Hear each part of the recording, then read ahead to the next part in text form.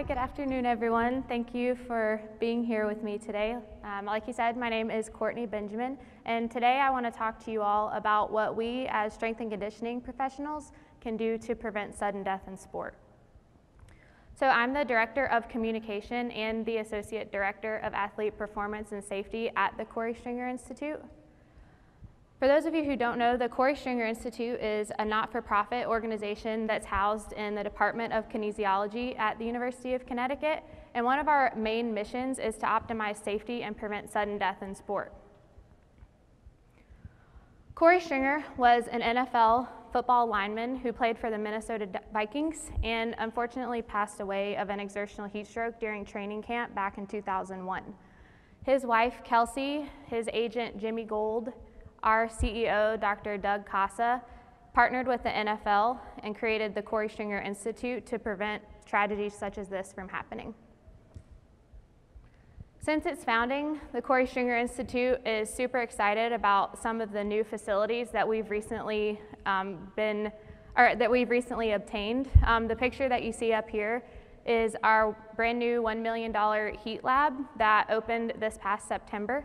And we bring a lot of elite athletes in to do sweat electrolyte testing, heat acclimatization, and much more research. Um, and so we're super excited about the facilities that we have here at UConn.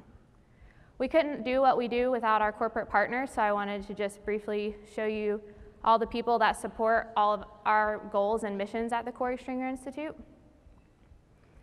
And I wanted to talk about, before I get more into the talk, about what our goal at the Korey Stringer Institute is. The athletes that you see here on the slides are all athletes that have unfortunately passed away during playing the sport that they love to play. Joseph Ciancola was a baseball player who died of an exertional heat stroke. Henry White was a basketball player who passed away playing basketball. And then most recently, Jordan McNair uh, passed away this past June um, while training for the University of Maryland for the upcoming football season. Another one of our goals is we want to do more of this. And what I mean by this is optimize performance. We are really fortunate at the Korey Stringer Institute because we get to work with a lot of elite athletes, triathletes, Ironmen, cross country teams, and many more to optimize their performance, especially in the heat. So some of you in the room may be thinking, well, we're strength and conditioning coaches. We work with our athletes, and sure, we care about their safety, but you know, we also have athletic trainers and sports medicine professionals. They can kind of help us out and be the ones that, you know, take care of most of this for us. So I did a little digging into some of the numbers to look at exactly what the athletic trainer ratio to student athlete population looks like. Um, and so for the 2016 to 2017 year, for high school sports, there were 7.96 million high school athletes. At the NCAA level, in just 2018, there were 492,000 college athletes. Some of the most recent data that's come out of the Korey Stringer Institute Atlas project shows that there's 7,200 approximately athletic trainers at the high school level, which means that there are 1,091 student athletes for every one athletic trainer at the high school level. And at the NCAA level, there's about 7,600 athletic trainers, which is a lot better, but still, there's 64 student athletes for every one athletic trainer. So I want to encourage you all today to remember these numbers when we're moving forward in this talk and to remember that you as strength and conditioning professionals can and should be a part of, of creating a safe and um, optimal environment for your athletes to train in. So if any of you were in the talk earlier, we were that was just in here before my talk, we, he was talking about value and how strength and conditioning coaches and people who work in this industry can create value in the sense of money, how much money we make um, as a professional in this industry. Some coaches find their value in the number of wins and losses that they have in their sport or how successful their athlete is on any given competition. Others find value in how they impact athletes outside of athletic events. So, are the athletes that they're coaching becoming better people when they leave their sport or when they leave their coach at that particular school or university?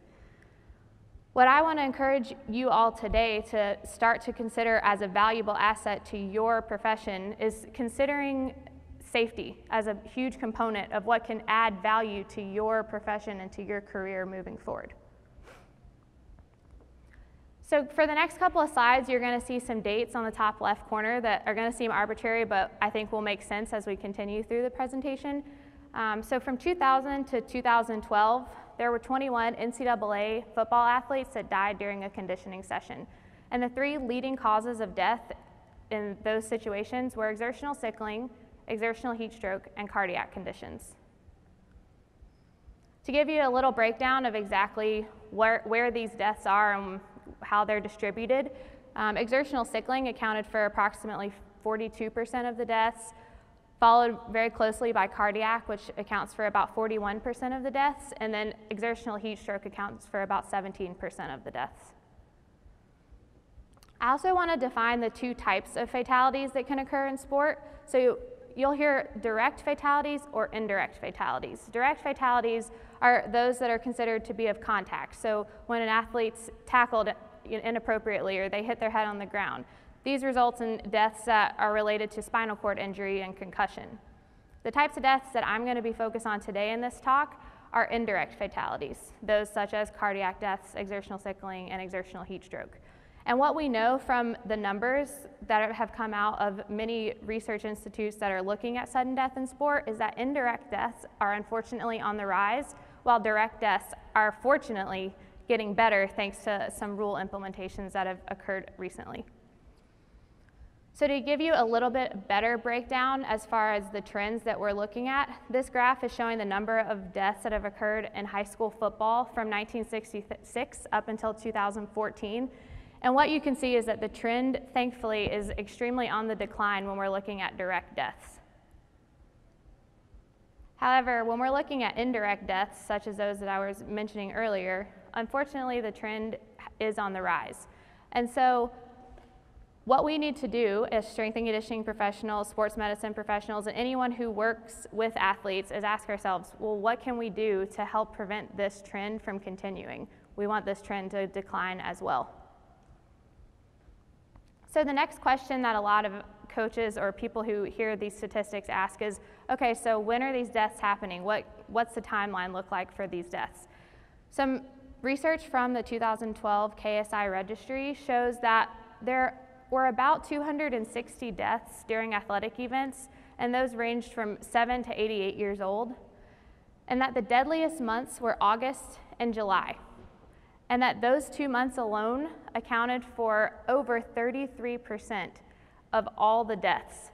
However, those represent only 16% of the entire year. So if we simply focus on July and August alone, we can probably have a tremendous impact on the deaths that are occurring in those months. So again, looking at 2000 to 2012, 11 of the 21 deaths that occurred in sport occurred on days one and two, the first two days of a training session or a training period. So remember I said the, the dates were going to seem arbitrary. So what happened in 2012 was the National Athletic Training Association and the NSCA decided something's got to be done about these deaths that are happening. There's got to be something that we can do to help um, ed- educate and acknowledge what can be improved upon to stop these deaths from occurring.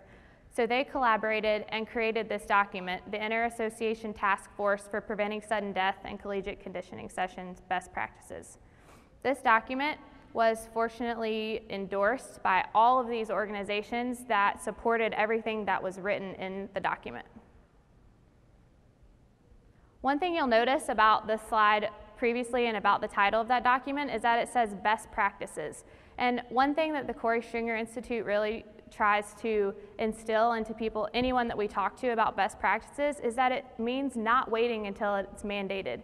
Like the surfer that you see on the picture here, what we don't want to do is let the wave crash on top of us and we fall, meaning we let an athlete die in our hands but without trying to get ahead of the curve. We want to make these policies best practices into our programs now before we ever have an athlete die on our watch. So what we know since 2012, since the release of this document, is that policy changes have helped. From the NCCSIR in 2016, we know that exertional sickling related fatalities have decreased and that there's only been two August deaths since the policies have been implemented. When we look more specifically at the exertional heat stroke deaths alone, what you can see on the figure here is the red represents NCAA sports and the stripes represents high school sports. The left two bars are demonstrating the number of deaths prior to policy adoption, and then the ones on the right are after policy adoption. So clearly the, the policy adoption helps for exertional heat stroke. So what about strength and conditioning sessions? Since 2012, in all sports of all levels, from, and this, this is from 2014 to 2015, there's been 48 indirect fatalities and eight of them have occurred in strength and conditioning sessions. In football alone in 2015, 10 of the indirect fatalities, out of the 10 indirect fatalities, six occurred in strength and conditioning sessions. So before we go any further, can I just get a show of hands of who is familiar with this document? I know some people in the room were actually on the document.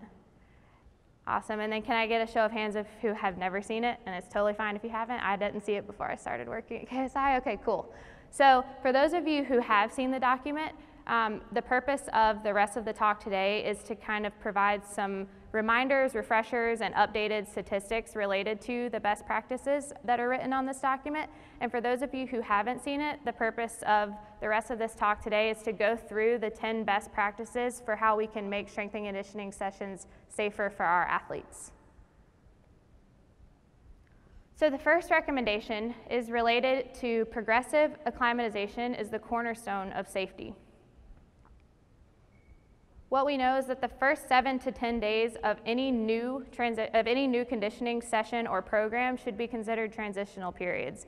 This includes coming back from Christmas break, coming back from spring break, uh, any long breaks that an athlete had after an injury, preseason. Any of those times should be taken into special consideration when introducing an athlete to a program.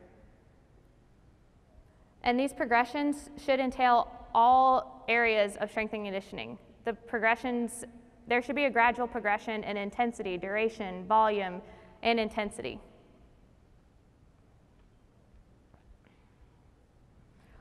When we look at work to rest ratios, four to one seems to be a good place to, to start, especially when we're talking about indoor training. So, sports such as basketball that may not train out in the heat. So, an example of this would mean you have 20 minutes of an athlete training and you give them five minutes off to recover or get water in between the sessions. However, when the heat is involved and athletes are outside training in really oppressive weather, you might want to consider a work to rest ratio of two to one. So giving the athletes longer time to rehydrate and recover in between putting them out in their conditioning sessions. Also, these training programs should be individualized. Um, like you said in the introduction, I played soccer at the University of West Florida. Me and some of my teammates that were from Florida, we were very used to training in the heat right before preseason. So when we were starting preseason, we were ready to go. We were totally heat acclimatized. We had been training in the heat. However, we had a couple of athletes that I played with that were from Iceland. They were training in completely different environmental conditions than what they came into during preseason in the panhandle of Florida. So in cases like that, what the Korey Stringer Institute in this document recommends is that those athletes get treated a little differently as far as getting them used to training in the heat compared to those of us that were already there acclimatized to the heat. So, does this recommendation work? In 2003, the NCAA adopted a heat acclimatization policy, and prior to 2003, there was about one death every year. And since 2003, there was only, there's only been two total deaths. So I would say, yeah, it probably does work. And high school is showing some really promising data with this as well, so stay tuned for that. Um, we'll be posting some stuff about that shortly on KSI's website. When we look at um, specifically exertional heat stroke deaths that have happened since acclimatization guidelines have been put in place, what you see on the map here is the black dots represent all of the deaths that have occurred. And the states that you see highlighted in red are the ones that meet the minimum best practice requirements for heat acclimatization. And so for some of you in the back, it may be a little hard to see, but basically what this map is showing is that no deaths have occurred in states that meet the minimum best, best practices for heat acclimatization. I know all of you are strength and conditioning professionals and interested in performance, so I wanted to throw a little bit of information about performance and how heat acclimatization can also help aid in performance. So what we know about heat acclimatization is that the first seven days especially are crucial. We know that after seven days of exposing your athletes to heat, their heart rate will decrease, their plasma volume will expand, their rectal temperature will decrease, their rating of perceived exertion or how hard they felt their workout was will decrease, and also their renal sodium and chloride concentration will go down. So not only will heat acclimatization help optimize your athlete's safety, but it will also help improve their performance in the sport that you're trying to help them improve as well. So this um, table is also on our website if you want it for reference, but I just quickly want to go through the different areas of practice modification. This guideline is or these, this table, like I said, um, is on our website, but it goes through mainly focusing on football and the areas of practice modification that can be done in football. However, I also can say from someone who, like I said, plays soccer and is familiar with other team sports, you can just remove some of the information such as the contact and um, equipment and the same guidelines can apply for those sports as well. So when we're looking at the area of practice modification is what you're going to see on the top, and then the next two columns are going to represent the practice days, so 1 through 5, and then days 6 through 14 are on the far column. So the number of practices that are recommended to be on days 1 through 5 are 1. We recommend for heat acclimatization especially, there should never be more than one practice a day on the first five days of a conditioning period. On days 6 through 14, two a days are permitted. However, the best practice is that only every other day is a two a day. This gives the athlete optimal time to recover, rehydrate, and get ready for the next session that they're going to have the following day. In regards to equipment, helmets only are recommended for day one and two. Shoulder pads can be added on days three and five, and then on days six through 14, you can go full equipment. This allows the athlete, again, time to acclimatize and get some of those physiological changes that are going to happen with training in the heat. As far as the maximum duration of a single practice, it's recommended that on days one through five, a maximum time that anyone should be practicing is three hours at most. And that three hours is the maximum time on day six through uh, 14 as well um, including, and that a total of five hours should be there for the second practice or the two a day. So if the one practice is three hours, the next practice should be no more than two. And then for walkthrough, there should be no, the walkthrough should last no more than one hour, and it should be separated from the previous practice that was done outside by at least three hours. And this will again allow the athlete time to cool off, rehydrate, and get ready for the walkthrough and the practice they're going to have out in the heat. And then for contact, you guys can read those through on your own since this is the, not the purpose of this um, talk, but that is there for your reference. So I'm going to go through, as I go through these different policies, you'll see these self-checks here, and I put these up here just to trigger some thoughts and questions about your program and the way that you work with your athletes to ask yourself if you're following these best practice guidelines. So the first self-check about this first policy is, do I intentionally program my workouts for heat and exercise acclimatization? Are my athletes always supervised by a certified strength and conditioning coach? And do I consider individual athlete needs when I write my programs, especially focused on the heat? So the next recommendation is related to introducing new conditioning activities gradually. New exercise, as many of us in the room are already aware, should be introduced in a gradual fashion by a qualified strength and conditioning coach. This is particularly important at the beginning of a conditioning session, such as those we were talking about earlier, preseason, um, a freshman athlete coming in that's never lifted a weight in their life, has never participated in college sports and things of that nature. And what the data shows in regards to this guideline, like we talked about a few slides ago, there's been 21 deaths in NCAA sports or in NCAA football players, and those were the leading causes. 11 of those occurred on days one and two, but 16 of 21 occurred during transition periods. So this shouldn't just be considered for preseason. This should also be considered for when an athlete's coming back from an injury or if the athlete has never participated in this type of training before. This can help eliminate some of these deaths that we're seeing during these transitional periods. It's staggering when you think that just five weeks of the year accounted for over 75% of the deaths. So, if we can make modifications to our training in just these five weeks, think of the difference we can make for these athletes. So, the self check for this guideline is Do I introduce new activities gradually, especially during transition periods? So the third recommendation from the document is do not use exercise and conditioning activities as punishment.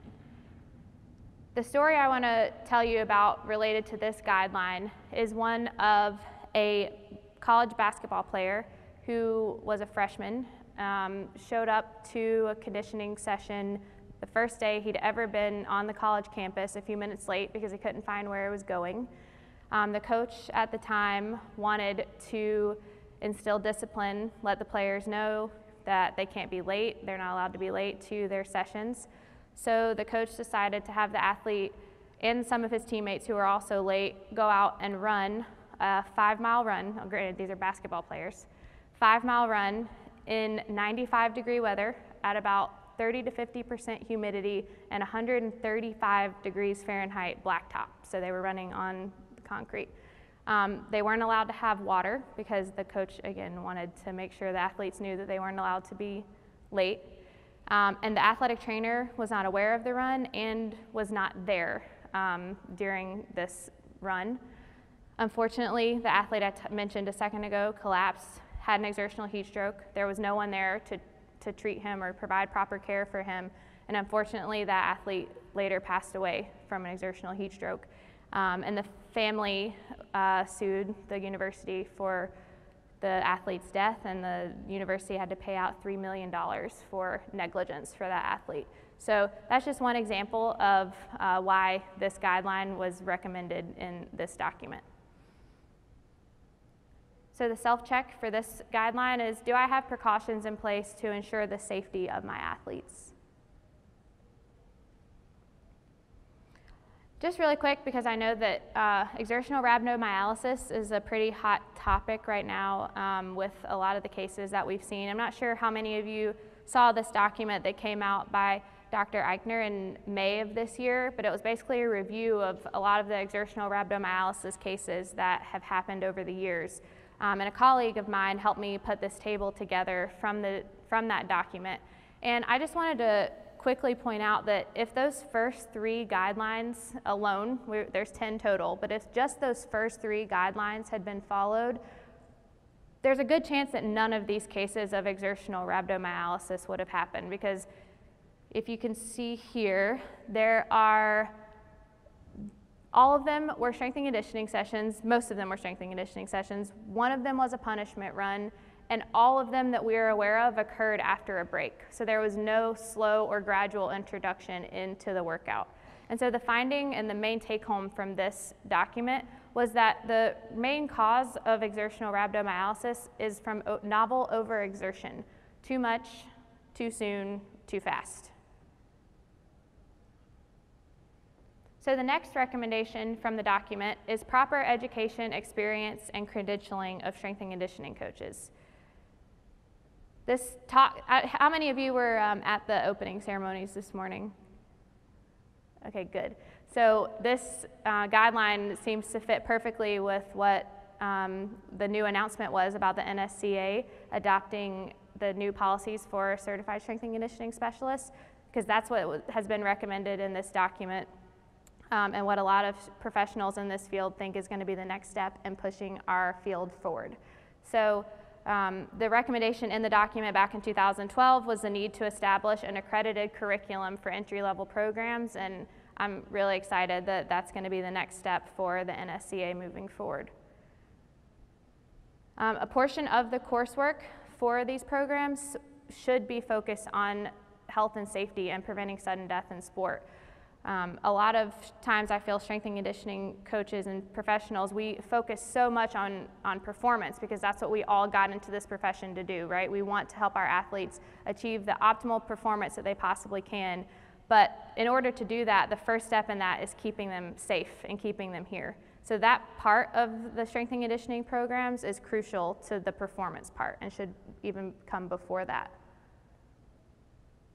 And then also continuing education and continually updating yourself and the, your colleagues that you work with on how we can help improve the safety of our athletes is going to be crucial in continuing to push this uh, field forward. Additionally, to education, strength and conditioning coaches should also be mentored by people who understand and are aware of these safety guidelines.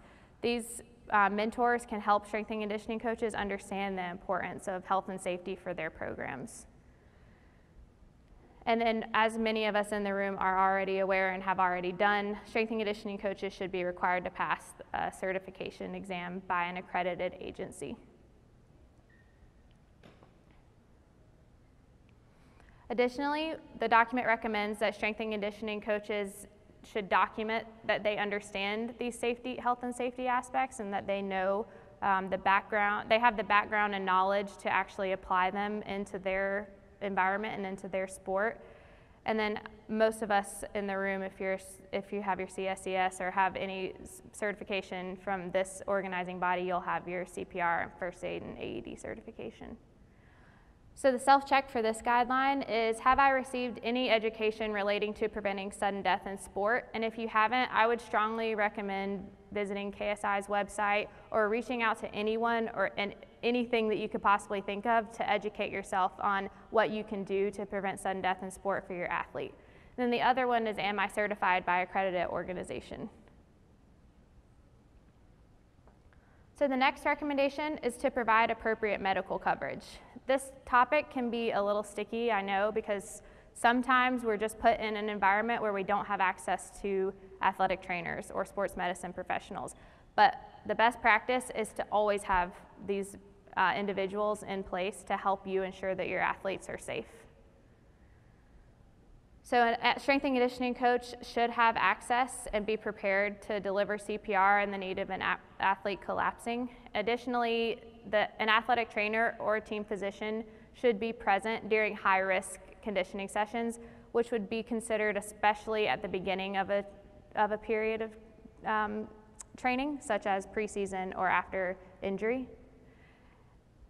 An athletic trainer also should be at least aware of the, a low risk conditioning activity that may be occurring, even if they can't always be there with you. If you have access to an athletic trainer and you know that you're going to be doing a conditioning session, at least just letting them know that you're going to be out there so they can be prepared in case something were to happen.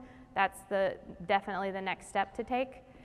Um, and then the institution that you work for should determine the need for medical coverage. I highly encourage all of you, if any, if any of you in the room don't have access to an athletic trainer, I would highly encourage you when you go back to wherever you work or whoever you work for to really push for at least getting someone there that can help be your medical liaison and your medical um, partner in helping make sure that your performance, your, your athletes are safe for their performance. So the self-check for this guideline is, am I CPR certified? Do I always plan ahead to have appropriate medical coverage at high-risk sessions? And is there an AT or sports medicine professional close by during low-risk sessions? So the next recommendation is related to the development and practice of emergency action plans. All strength and conditioning venues should have emergency action plans posted. If you don't have one, I would highly, highly, highly encourage you to get one um, and to make one. Sit down with your sports medicine team, your athletic trainers, team physicians, anyone that you can that could help you make an emergency action plan. I would get one. Um, a coach, the sport coach, not just a strength and conditioning coach, but also that the coach, the football coach, the soccer coach, any coach that you work with should also be aware and knowledgeable of this emergency action plan and where to find it in case of an emergency. I'm not going to go through these components today, but it's here for your reference. It's also on KSI's website. If you don't have an emergency action plan and would like to make one, these are the 12 components. You can literally walk through these 12 components, and by the end of it, you will have an emergency action plan that should have all of your bases covered for any emergent situation that could happen um, with your athletes. So the self-check for this um, policy or this recommendation is do I have an updated emergency action plan? And do I review and rehearse the emergency action plan annually? And is the coach I work for familiar with the emergency action plan? So the next recommendation is surrounding you being cognizant of medical conditions surrounding your athletes. So the top three leading causes of death that we touched on earlier were exertional sickling episodes, cardiac conditions, and exertional heat stroke. All of you in the room, I hope that after today you are familiar with them, and I also hope that you are educated and are willing to share these um, the the uh, the symptoms related to these illnesses with your colleagues and with the people that you work with. So not only you, but everyone that is around you is aware of what to look for with these or with these illnesses. So the document recommends that organizing and credentialing bodies also continue to educate anyone who's affiliated with these athletes on these specific medical conditions. If you don't know anything about any of them, that's totally fine. You should check out the NATA position statements to get a good background on these different illnesses and what to look for with them. Um, today, I'm going to quickly go through the top three that we talked about today and some, stuff, some things that you can use in your practice moving forward to be aware of them. So the first one is sickle cell trait. Um, most athletes nowadays are aware of their sickle cell trait status and if they have it, but strength and conditioning coaches and people who work with these athletes on a daily basis should also be aware of their status because you can help educate the athlete and also help encourage them to take breaks when they need. If you're seeing signs and symptoms, such as an athlete who's stumbling who normally doesn't, or who just doesn't look right that day, you can help encourage them to sit out, take breaks, and get water when they need to prevent that exertional sickling episode from happening. Additionally, encouraging the athlete and yourself and the athletic trainer and everyone who's involved to continually get educated on the most updated findings and policies related to exertional sickling can really help prevent some of these catastrophes that we've seen happen with related to this trait. So the next um, illness is exertional heat stroke. That's one of the ones that the Korey Stringer Institute has focused heavily on uh, researching. And what we know about exertional heat stroke is that it is 100% survivable, survivable when treated appropriately. On the next slide, you'll see an infographic that I think explains it a little more clearly, but the big thing is to have a cooling plan. Know what to do when an athlete is suffering from an exertional heat stroke. Additionally, as strength and conditioning professionals, you can help prevent the exertional heat stroke from ever happening by adopting some of those heat acclimatization policies that we talked about earlier in the session from the first guideline. Additionally, the supervising staff, not only you, but also your sport coaches, should be aware of the heat acclimatization policies that can help prevent these, these episodes from ever happening in the first place. So, a document that was released um, a few weeks ago or a few months ago by one of our colleagues at KSI went over the entire treatment plan for someone who's suffering from an exertional heat stroke. We made this infographic at KSI, and if you want to check out the paper, you can just scan the little barcode that's down at the bottom of this presentation. Um, but basically, what the take home from this paper is, is that exertional heat stroke is 100% survivable if you race meaning you recognize the exertional heat stroke, you assess it appropriately using rectal thermometry. The athlete is submerged in cold water until they're cooled, and then they're sent for emergent care. We know that if this procedure is followed, no one will ever, no one has died under this exact treatment protocol. And then the last one is cardiac conditions. Many of you, or most of you, are probably AED and CPR certified. And what we have all learned in these classes is that quick response is key to the survivability of any cardiac condition.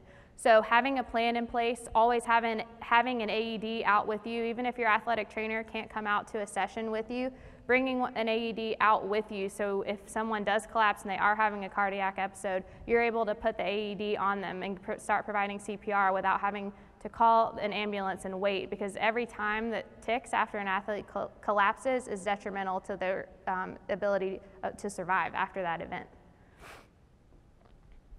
So for more information, this is a really awesome table. If you aren't familiar with some of these conditions and you just want the basics of, well, what should I look for in these events um, and how can I kind of know how to distinguish one from another, I would highly encourage you to take a look at this table or this paper to get a good idea of some of the symptoms related to some of these conditions that we've talked about today.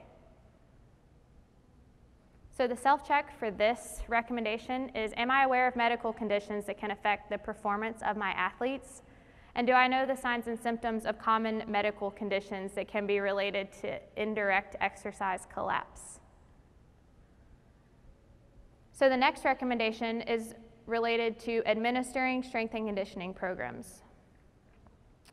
The document recommends that athletic departments, not sport coaches, be responsible for the supervision of strength and conditioning coaches, and that the strength and conditioning coach and athletic trainer should work hand in hand. They should be constantly communicating, constantly working together, knowing what medical conditions are going on from the strength and conditioning perspective. The athletic trainers should know about what training plan the strength and conditioning coaches have.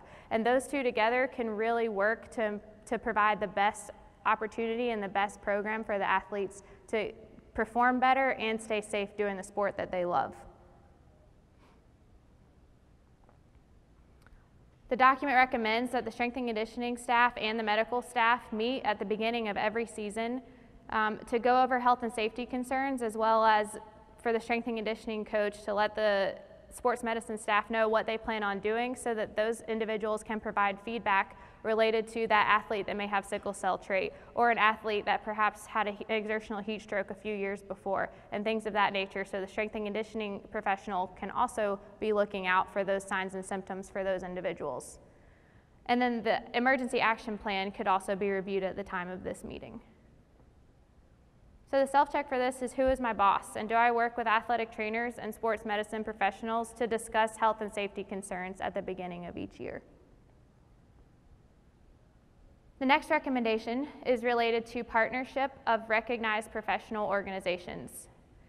Key organizations should establish a partnership to periodically review and rehearse and disseminate best practices related to preventing sudden death in sport. The research is constantly updating and changing, and we're learning so much more about preventing sudden death in sport. And you should definitely follow and keep up with the changes that are happening in this world because you want to be on the forefront of knowing about how to help your athletes stay safe doing their sport. So the self-check for this is, are the organizations I'm a part of encouraging best practices? And are the organizations I look to for resources continuously updating their best practices? And then the last recommendation from the document is related to adequate continuing education for the entire coaching and medical teams. So strength and conditioning coaches, sport coaches, athletic trainers, team physicians, and anyone who works on a daily basis with the athletes should be able to demonstrate that they know about preventing sudden death in sport. They should demonstrate the knowledge behind all of the things that we've talked about today and be able to apply those to their programs.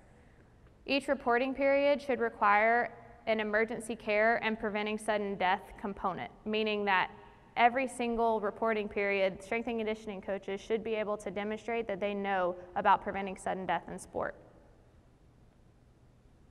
So the self-check for this recommendation is do I have to period do I have to periodically demonstrate my knowledge related to preventing sudden death in sport? So now that we've gone through all of these best practice recommendations, as strength and conditioning professionals, what's next?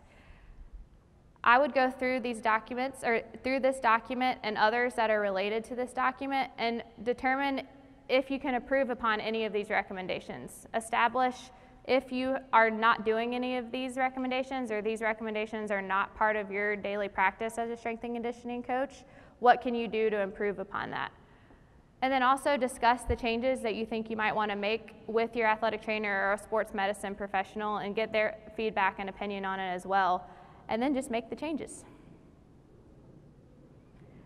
So, for those of you who might not be familiar, the Korey Stringer Institute works closely with the National Center for Catastrophic Sport Injury Research, the NCCSIR. Um, and what this organization basically is is a reporting system for any catastrophic injury that occurs in sports. This doesn't just involve fatalities. This also involves survive, sto survival stories. So if any of you are aware of or you know of any um, things like what we've talked about today that have happened, I would encourage you to visit this website and register um, anything that you know about to this website to continue research and help us to continue advocating for making sports safer. So, the big take home from the message today is you can maximize your value and your athlete's performance by ensuring the safety of your program. Please consider following KSI on social media. We have Facebook, Twitter, Instagram, and we're continually posting things about sudden death in sport and also about some of the performance testing and things we're doing in our research lab. Thank you.